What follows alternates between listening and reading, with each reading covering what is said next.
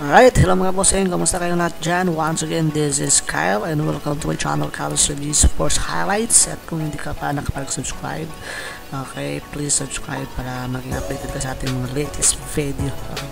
So, for today's video mga bossing, okay, we are going to talk about the NBA standings, NBA schedule, at NBA results as of December 4, 2019 Okay, so these are the games yesterday and result mga boss. Okay, first game was Washington Wizards versus the Orlando Magic. Okay, kung saan Orlando Magic wins. Okay, nanalo ang Orlando Magic dito sa koponan ng uh, Washington Wizard with a score of uh, 120 to 127 mga boss. Okay, followed by Cavaliers at Pistons mga bossing. Okay, itong nanalo nga ang Pistons ko sa Cavaliers score no 127 to 94 at ito namang uh, third game was the Pelicans versus the Mavericks. Okay.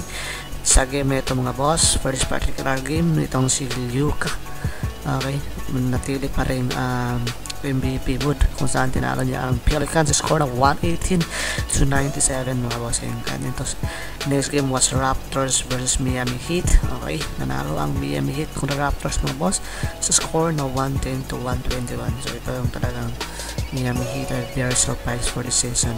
Okay na itong Miami Heat nga ay nasa top 8 sa Eastern Conference. And next uh, game was the Spurs versus the Rockets boss. This is a very controversial uh, doon sa dunk ni James Harden. Na hindi puma pumasok siya pero hindi ka counted ng referee.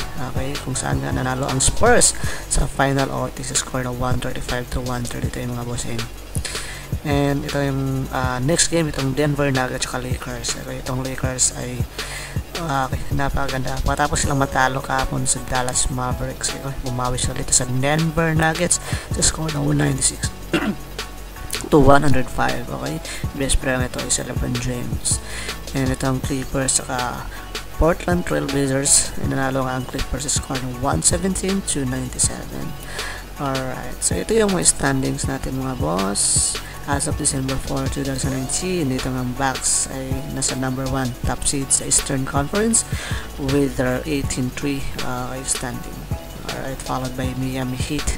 Very surprised ng Miami Heat mga boss.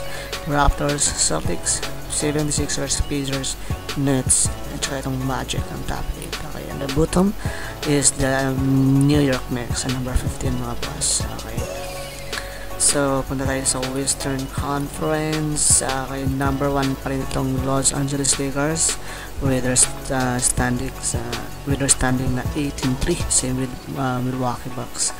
Okay, so and followed by Los Angeles Clippers, Nuggets, okay, Mavericks, Rockets, Jazz, Timberwolves, at saka number itong Phoenix Suns mga boss. And very, okay, itong Warriors ay itong nasa bottom pa rin. So, with their standing na 4-18. So, moving forward mga bossing, ito yung mga games today. Alright, Orlando uh, December 5, 2019 itong uh, Detroit Pistons versus Bucks at 8am and Charlotte Hornets versus Warriors at 8am as well Orlando Magic versus Phoenix Suns Hawks versus Nets Celtics versus Heat at 8.30 okay Bulls versus Grizzlies Thunder versus Pacers. Mavericks versus Timberwolves at 9.30 okay today mayroong laban ng Lakers at Jazz versus Lakers.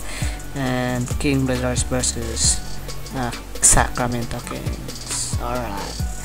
So, mapapanood nyo ang mga games, some of these games mga boss sa NBA Philippines sa Facebook page. And kung hindi ka nakapag-subscribe okay, mas maganda doon sa NBA League Pass 500 a day uh, per month mapapanood mo na itong all games ng NBA So, yun lang mga bossing. Thank you so much for watching my video. Once again, this is Kyle. And if you like this kind of content mga boss, like uh, very quick updates NBA, PBA, okay, or any other sports, please like, comment, and subscribe. So, once again, this is Kyle, and God bless.